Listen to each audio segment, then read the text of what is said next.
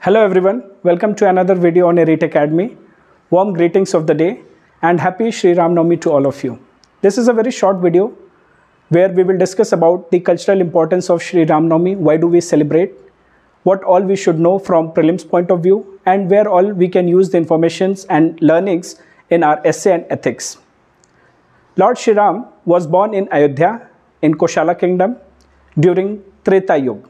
So according to Hindu mythology, we have four yugs. The first one being the Satyug, second Treta Yuga, where Lord Shri Ram was born in that period. Then we have Dwapar Yuga, Lord Krishna belongs to that period, and Kali we belong to Kali. The whole story and the uh, the lessons from the Rama's life has been written and explained by Valmiki, sage Valmiki in Ramayana Sage Valmiki is also known as Adi Kavi, that is the first poet, and Ramayana is known as the Adi Kavya, that is first poem. It was written in Sanskrit. Time period is not exactly clear when it was written, but Ramayana has inspired other regional uh, uh, language in regional languages. Ramayana has been written, and it has inspired generations. The famous being the Kamban Ramayana, written by Kamban in Tamil language in 12th century, then we have uh, Eknath's Ramayana is there, which is known as Bhav, Bhavarth Ramayana. It was written in 16th century in Marathi language. And the famous one, Ram Charitramanas, written by Tulsidas in 16th century in Av Awadhi language. Like this, we have various versions of Ramayana in different languages. Time to time, people have written the interpretation. Not only that, since ages, we have been performing Ram Leela based on the stories of Ramayana, it is a traditional theatre which has been which we have been seeing since childhood as well. UNESCO has given it a recognition under intangible cultural heritage list in 2008. This, that, this was the first one to be mentioned or recognized under the list. Today, we have 14 such intangible cultural heritage uh, which has been given the recognition and has been um, mentioned in the list. The latest one being the Durga Puja in Kolkata, which was recognized by UNESCO in 2021. In 2021.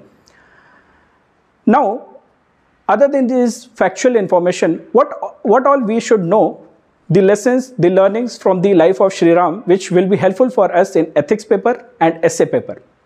In ethics, GS paper 4, we know that there is a topic, determinants of ethics. In that determinants of ethics, we read how religion or the mythology shapes the values or it shapes the ethics and guide our behavior. In ethics, religion plays important very role plays very important role. So religion being important plays very important role we know and Ram or for that matter Mahabharat we learn values from there. So what all values are important which from Sri Ram which we should uh, learn we should carry those values. First being the equanimity. Equanimity in simple terms, it is emotional intelligence. That we should know how to balance ourselves. Whenever there is a tough situation, then we should know how to react. Whenever we are in a good situation, good time or bad time, we should know how to balance. Shri Ram, when he was sent on exile for 14 years, he didn't oppose, he didn't react to it. Rather, it was he respected the wishes of her mother Kaikeyi, he respected the promise of his father, and he went on exile. Even when after 14 years he was crowned as a king of Ayodhya, he was not jumping out of happiness. So he knew how to be rooted, be it good time or bad time. This is what we should learn from Ram. Nowadays, as a student, we see failures and we, we give up. So that, that is what we have to learn. Second quality which we should learn from Ram is modesty. He knew about his powers. When he went to Sita's Swamvar, he knew that he can easily break the Shiva's Dhanush. But he was waiting for direction, he was waiting for orders of his Guru, and he was waiting for the right time so that, okay, he will go and his, he will display the power. Not only that, he also knew because he, he was, he was so good in arch, archery skills that he knew that he can easily kill Ravan, but he was waiting for a right time to teach Ravan the life lessons.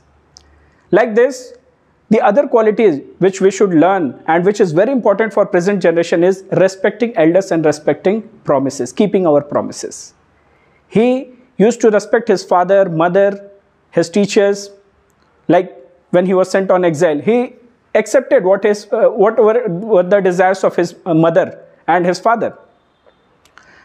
Even when he was on exile, after the death of his father, Bharat came to, to the forest and he asked him, Now no more father is there, why don't you come and become the king of Ayodhya and rule, uh, rule there?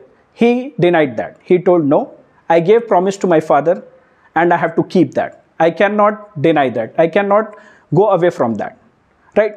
So these are the qualities. Other qualities like equality. He always considered his subjects, the people in his kingdom, equal. He treated them like family. He worked for them. He cared for them. That is what's famously called by Gandhiji as Ram Rajya. Gandhiji envisaged a Ram Raj scenario for India where he wanted that the Ram Raj should be based on the pillars of justice, equality, fairness, transparency, and accountability. So, this is how we should learn the lessons from his life, and we should use it not only for prelims, ethics, or essay exam, but also these values should guide our behavior on day to day basis and in our decision making. Thank you.